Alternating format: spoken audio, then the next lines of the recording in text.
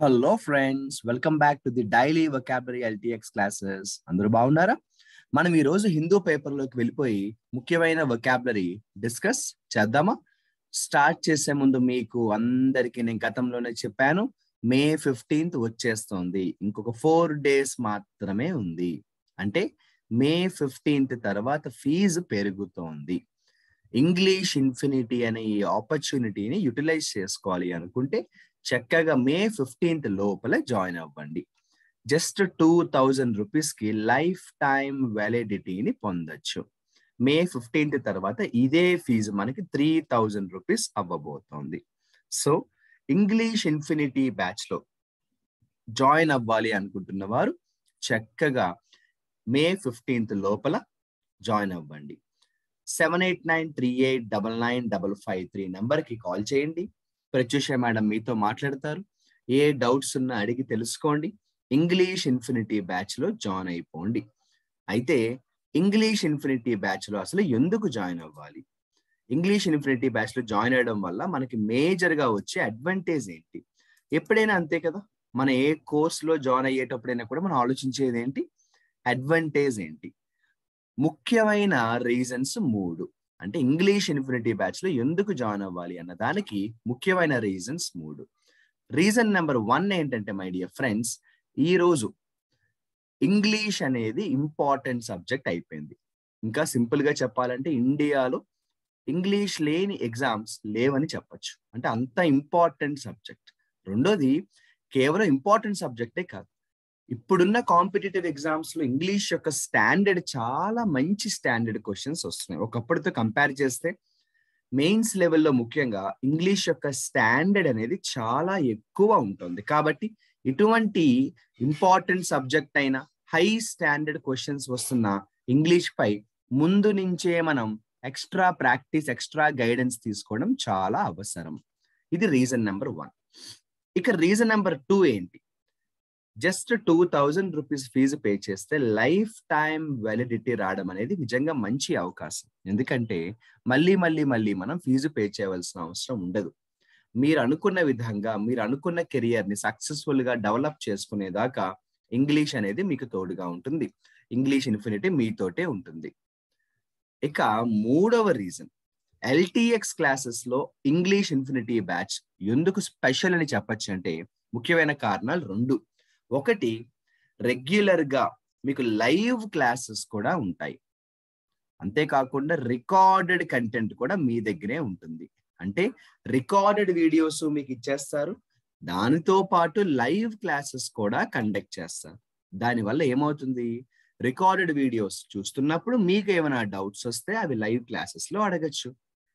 Live classes వింటున్నప్పుడు మీకు ఏదైనా టాపిక్ పై మళ్ళీ ఒక వీడియో చూడాలి అనుకుంటే అది రికార్డెడ్ కంటెంట్లో చూడొచ్చు.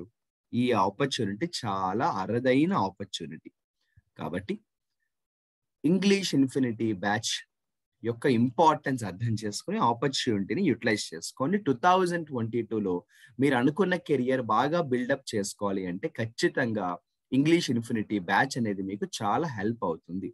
ఆలస్యం చేయకుండా మే ఫిఫ్టీన్త్ తర్వాత మళ్ళీ వన్ థౌజండ్ పెరుగుతుంది కాబట్టి అప్పటిదాకా వెయిట్ చేయకుండా మీరు లైఫ్ టైం వ్యాలిడిటీ అనే ఆపర్చునిటీని జస్ట్ టూ థౌజండ్ రూపీస్కే పొందండి. మీకోసం నెంబర్ మరొకసారి చెప్తున్నాను.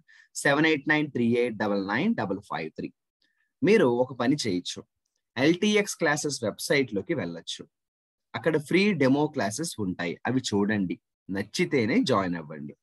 అంతేకాదు స్టూడెంట్స్ ఇచ్చిన ఫీడ్బ్యాక్ ఉంటుంది. వాళ్ళు పెట్టిన మెసేజెస్ ఉంటాయి. వాళ్ళ యొక్క అభిప్రాయాలన్నీ కూడా మీకు కనిపిస్తాయి అవి కూడా స్టడీ చేయండి. ఎస్ ఇది చాలా మంచి కోర్స్ చాలా బాగుంది. క్లాసెస్ బాగా అర్థమవుతున్నాయి. అని మీకు నమ్మకం వస్తేనే జాయిన్ అవ్వండి. ఇక మనం ఆలస్యం చేయకుండా మన హిందూ పేపర్లోకి వెళ్ళిపోయి ముఖ్యమైన వొకాబులరీని స్టడీ చేసేద్దాం. రెడీగా ఉన్నారా అందరూ? రైట్ ఫ్రెండ్స్ సో మనం ఈరోజు హిందూ పేపర్లో ఉన్నాము. ఎక్కడ? హిందూ పేపర్లో పేజ్ నెంబర్ టూ లో ఉన్నాము. పేజ్ నెంబర్ టూ లో ఒక ఇంట్రెస్టింగ్ ఆర్టికల్ వచ్చింది. ఏం లేదండి? ట్రాన్స్ జెండర్స్ అంటారు కదా? సో ట్రాన్స్ ఉమెన్ అంటారు. సో మొట్టమొదటిగా తెలంగాణలో ఒక ట్రాన్స్ ఉమెన్కి జాబ్ ఇచ్చారు. సో ఆ జాబ్ ఎందులో ఇచ్చారు? ఆ ట్రాన్స్ ఉమెన్ యొక్క ప్రత్యేకత ఏంటి? అన్న ఈ ఆర్టికల్ చాలా ఇంట్రెస్టింగ్గా ఉంది. ఇది తెలంగాణ ఎడిషన్కి సంబంధించిన లోకల్ పేజ్ నెంబర్ టూ లో ఉన్న ఆర్టికల్. ఓకేనా? ఇందులో చాలా ముఖ్యమైన వొకాబులరీ ఉన్నాయి. హెడ్లైన్స్లోనే ఉన్నాయి. హెడ్లైన్స్ చూడండి వాళ్ళు ఏమన్నారు? Beyond gender potential trumps prejudice అనే పేరుతో ఉంది.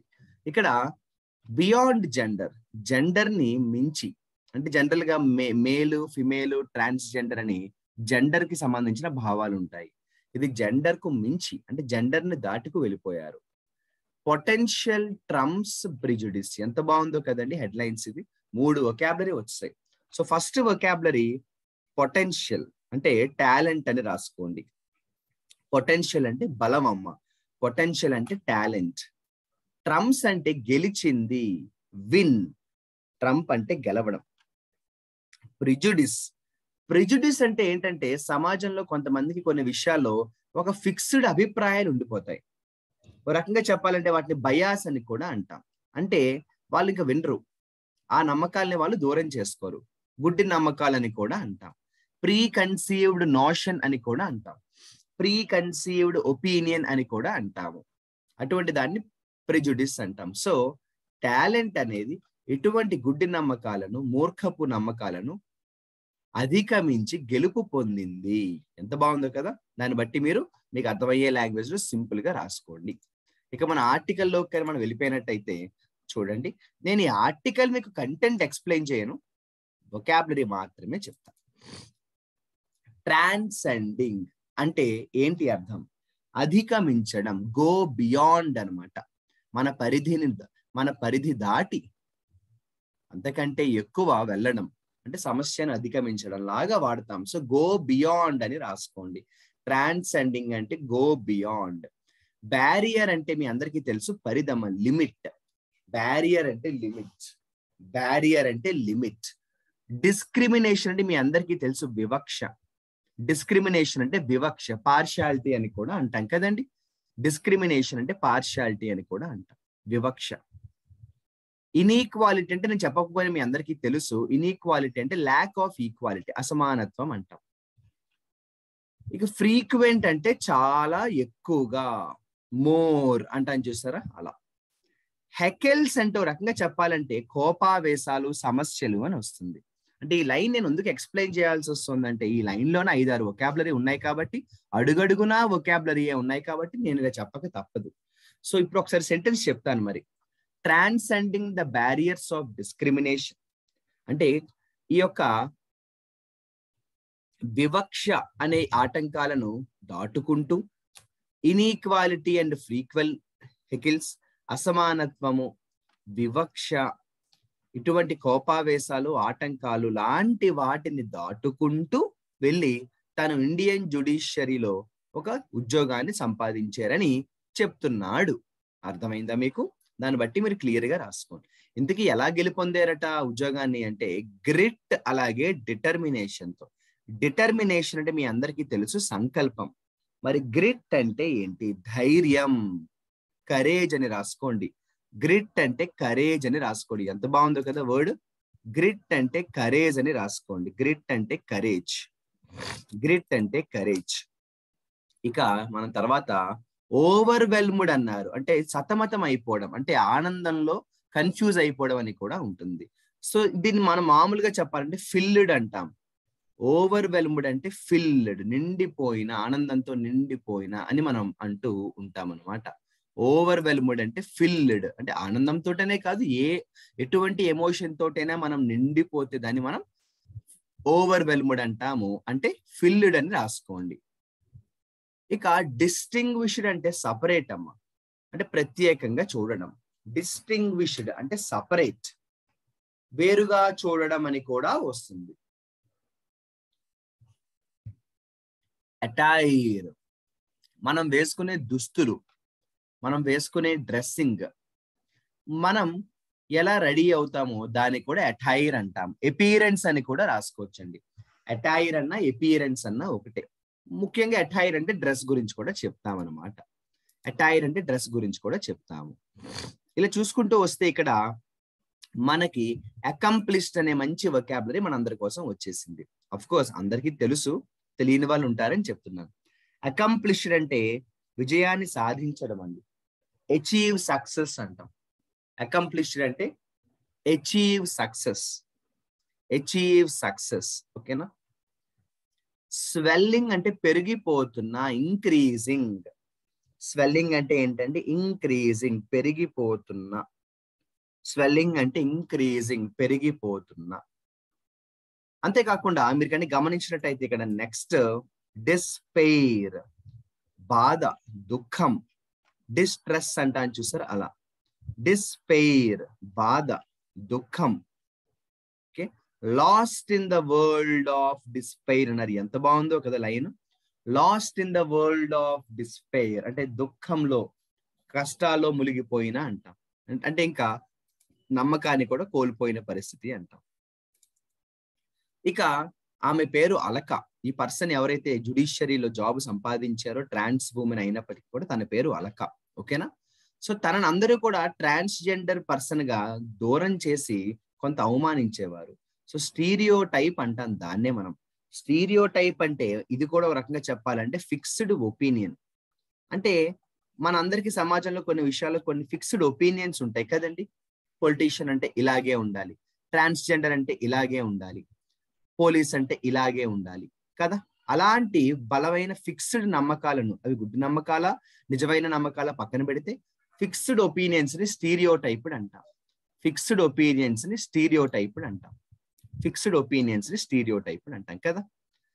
చాలా మంది సమాజంలో తను ట్రాన్స్జెండర్ కదా తన పని ఏంటి? రోడ్డు మీద ట్రాఫిక్ ట్రాఫిక్ సిగ్నల్స్ దగ్గర బెగ్గింగ్ చేసుకోవాలి అని చాలా మంది ఫిక్స్ అయిపోయారు. కానీ తను ఆ పర్టికులర్ స్టీరియో టైప్ సందర్భాన్ని స్టీరియో టైప్ మైండ్ సెట్ని బ్రేక్ చేసి ఏకంగా గవర్నమెంట్ జాబే సంపాదించారు.